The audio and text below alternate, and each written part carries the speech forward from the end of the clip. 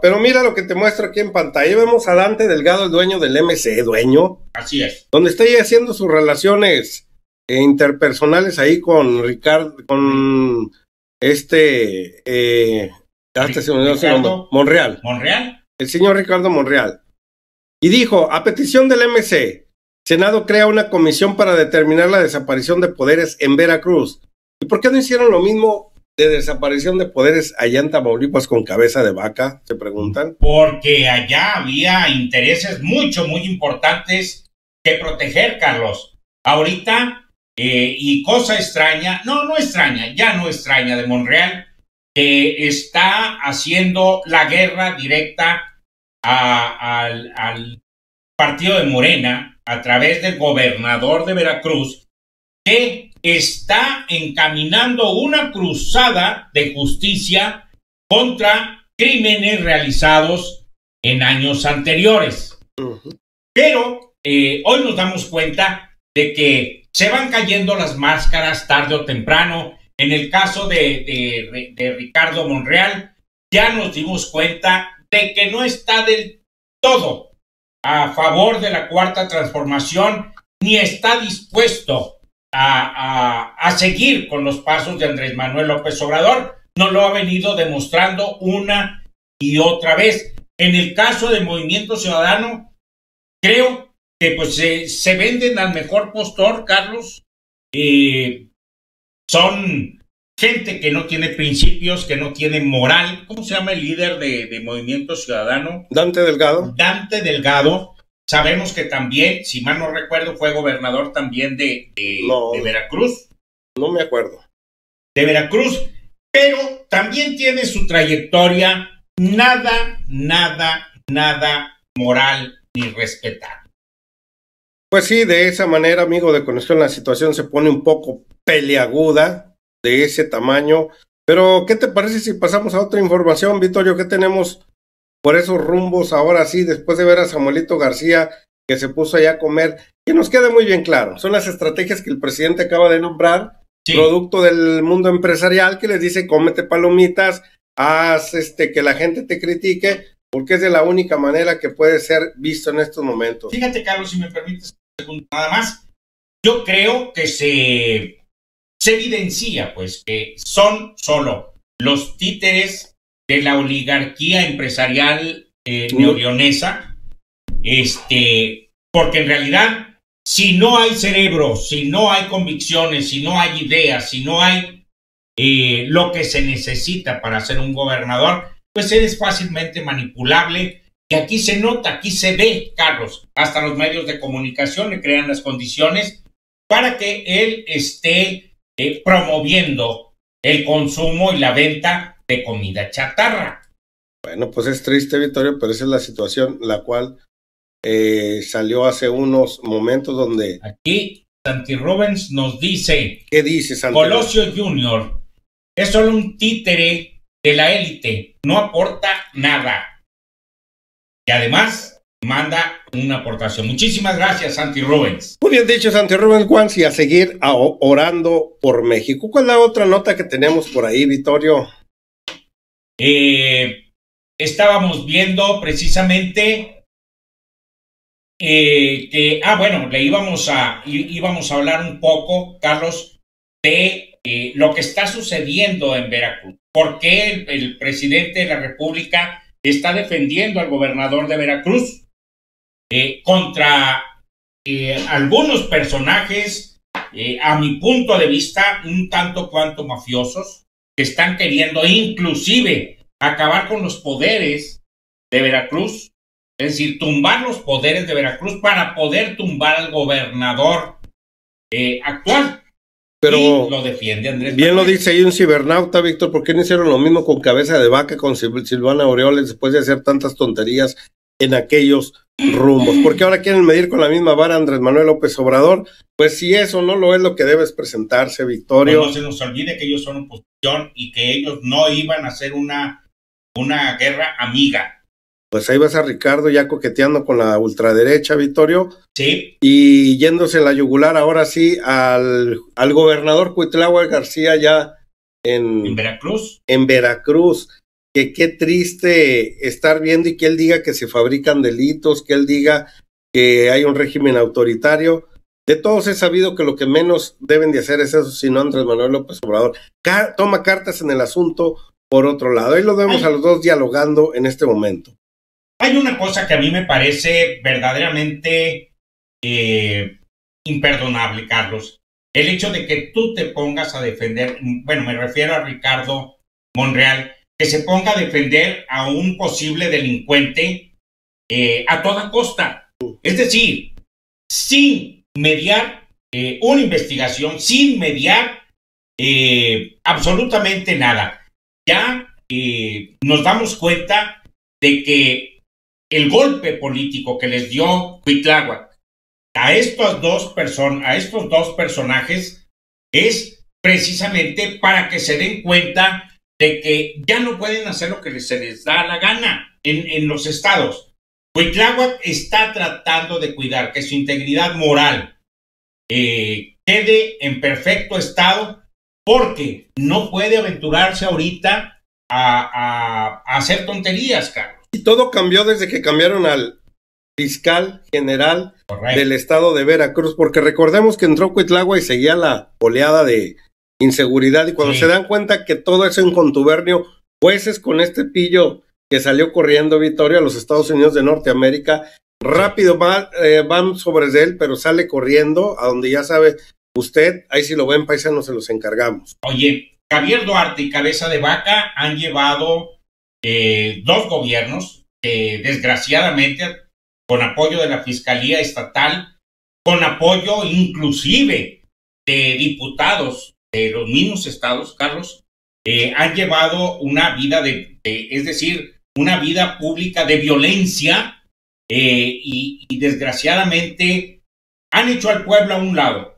Ellos se han enriquecido hasta más no poder, pero al pueblo lo han inguneado, lo han menospreciado y, y, eso es lo que se tiene que acabar. Afortunadamente ahorita las encuestas hablan de que tanto en Nuevo, León, en Tamaulipas, parece ser que Morena lleva ventaja, esperemos que se mantenga para el 2022, que vienen las elecciones. Que quede claro algo, ese estado, cuando lo gobernaba Yunes, tu hermano, no sé quién era el otro también, Vittorio, Javidú, bueno, se la pasaban en el periódico todos los días escurriendo sangre por ahí, a diario. Sí. Sí. Y se echaron cinco aquí, se echaron seis allá y diez por acá y el otro día así. Bueno, era un desbarajuste Ellos en tomaban venganza, Carlos, utilizaban a las policías para poder eh, llevar a cabo sus venganzas. Y cuando quitaron al fiscal y cambió de gobernador, Víctor, la gente se empezó a apaciguar en ese estado. La corrupción estaba ahí amando poder, protegiendo a personas no santas. Y nos dicen por ahí que qué hace el campi ahí. Pues el presidente nombró y hay gente sin convicciones, sin ideales, Víctor, productos chatarras, bueno, él no es un producto chatarra porque él aparentemente nació de sí mismo, pero sí es un hombre sin convicciones, sin, sin ideales, porque lo único que demostró cuando apoyó a su amigo Eliseo Fernández, que es lo mismo, lo único que vio es que él era un eh, arribista, Víctor, convenenciero, no es trovador este sinvergüenza, pero sí va a donde eh, le dicte su corazoncito en vez de su mente, Víctor, en vez de echar a andar la cesera, cuando no es, cuando no se, no, cuando no se es un hombre de convicciones, de lucha, con objetivos políticos, con objetivos de diferentes causas, pues difícilmente se quedará e irá ahora sí, como todos pensamos en esta transformación. No, con el jalón que le dé a alguien, se hace para un lado y bien lo pueden tambalear para allá, eso es lo que demostraron en ese momento. Y Samuel García, que es ahora sí el Peña Nieto del día de hoy, el señor Luis Donaldo Colosio, también el hijo de, del otro Luis Donaldo Colosio que lo asesinaron allá en marzo del 93, creo. Así es, así es. Pues esa situación, amigo de conexión, esa situación es a la que se refería el presidente de la República. Que no por el hecho de que Francisco Madero también haya gobernado a sus principios de los 30 años, Víctor, de su tercera década, signifique lo mismo con estos sinvergüenzas a los cuales acabo de nombrar. Porque aquel hombre sí tenía principios, sí tenía ideales, sí tenía objetivos políticos hacia dónde ir, y es por eso que de la noche a la mañana se lo tuvieron que echar, pues traía soleada a toda la esfera de los fifís mentados en aquellos tiempos y eran nombrados de esa manera. Y un joven de 32 años, creo, cuando fue presidente de la República, pero muy diferente a los dos sinvergüenzas que hacen la bandera el día de hoy, que son Luis, Donaldo Colosio Jr. y el señor Samuelito García. Pues yo los veo como dos personas que pueden ser maleables como la plastilina para irlos encaminando, Carlos, para ir formando en ellos, como dice Andrés Manuel, eh, bien arregladitos, bien, bien bonitos, este, con su gelecito, dice Andrés Manuel, eh, y, irlos formando para irlos eh, metiendo a la política nacional a como dé lugar, Carlos, porque Beltrán del Río habló. Pascal.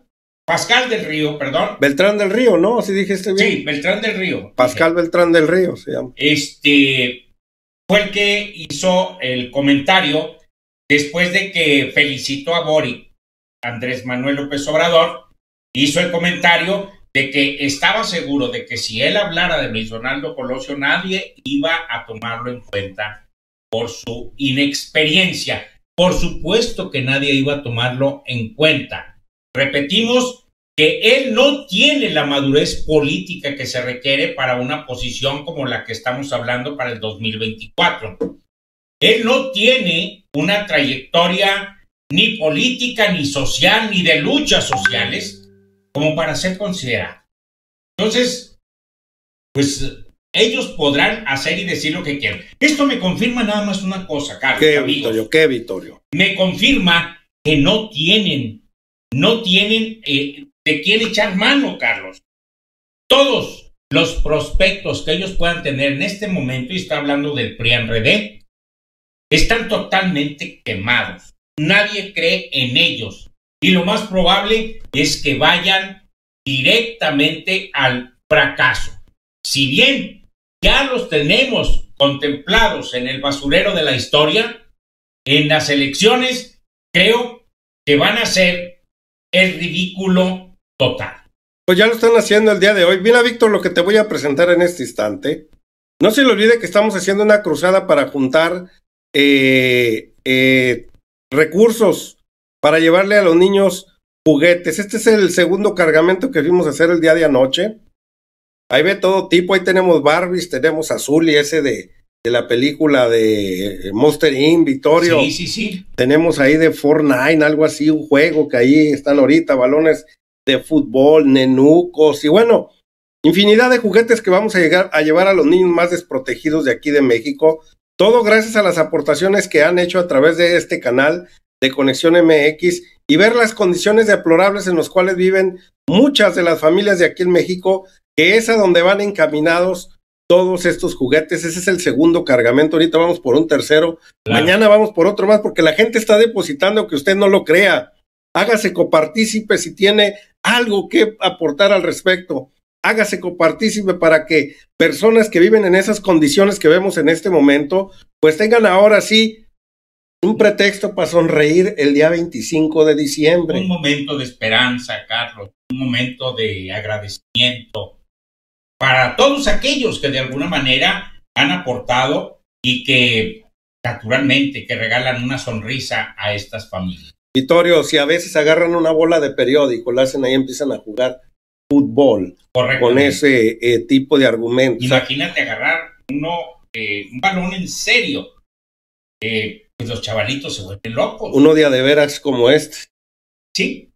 Brilloso, colorido, Vittorio. Sí, sí, sí. Eh, que con las aportaciones que hemos recibido a través de PayPal, a través de, de una tarjeta, este es el correo por si desea donar, eh, si desea enviar eh, un money order o algo, o necesita información al respecto.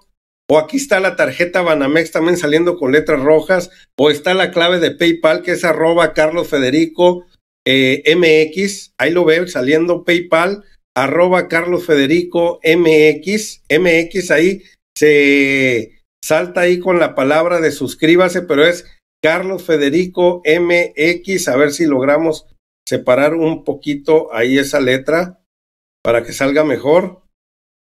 Sus aportaciones están llegando, muchas gracias. Hoy iremos más. Hágase copartícipe, vuelvo a repetir, de esta bonita odisea que estamos haciendo en estos momentos. A todos los que han aportado a través de las redes sociales, a través de este, de los superchats, se les agradece bastante. Vitorio, pues algo que quieras concluir al respecto sobre esta situación. Permíteme, Carlos, agradecer a nuestras audiencias, el que sean solidarios con nosotros, que estén todos los días con nosotros y nosotros gustosos llevándoles las noticias que sabemos que a ustedes les van a interesar. Muchísimas gracias. Les mando un abrazo. Sigan apoyando a Conexión Online, Conexión MX, Carlos Federico Informa y Expresión Política con Víctor Corral. No se le olvide que ya es 23 de diciembre, el presidente decía una feliz Navidad porque mañana no hay mañanera, Vittorio. No, no hay. También eh, les mandamos un abrazo y les deseamos lo mejor en esta Navidad y que haya unidad, paz, amor, tranquilidad en todos los hogares eh, mexicanos. Y no se le olvide que el día 25 de diciembre vamos a estar repartiendo sus juguetes, vamos a estar en vivo, para que sea testigo de los lugares a los cuales vamos a ir, gracias a usted. Gracias a usted que ha estado cooperando. Un saludo para Araceli, Araceli Robalcaba que sigue ahí en el chat ayudándonos muchos. Dice, compayito Scott, saludos desde Los Ángeles, California, Víctor y Carlos Federico. Gracias, mi compayito, saludos hasta aquellos rumbos. Silvia LD, Mexican King, campechaneando sin dudas, fue un traidor. Pues sí, tristemente, y todavía hasta el día de hoy no ha pedido una disculpa, Víctor. Así es. Sobre Porque él lo toma solamente como que apoyó a un amigo pero a un amigo de la parte opositora de esta transformación. Pudo haberlo hecho, pero sin tanto aspaviento, tanto, tanto reflector. Cualquiera se puede equivocar aunque sea con un balón de ese tamaño. Pero bueno, allá él, un saludo para Edwin, eh, hasta donde nos escuche, un abrazote, se le respeta como persona, no, con los ideales con los cuales posee en estos momentos y convicciones si es que las tienes. Ana Caballero, un, saludote, igualmente miles de bendiciones con mucha salud y felicidad. Un abrazo, María Santiago. Pues vámonos riendo, Hugo Prado. Nos vemos a la próxima. Nos vemos.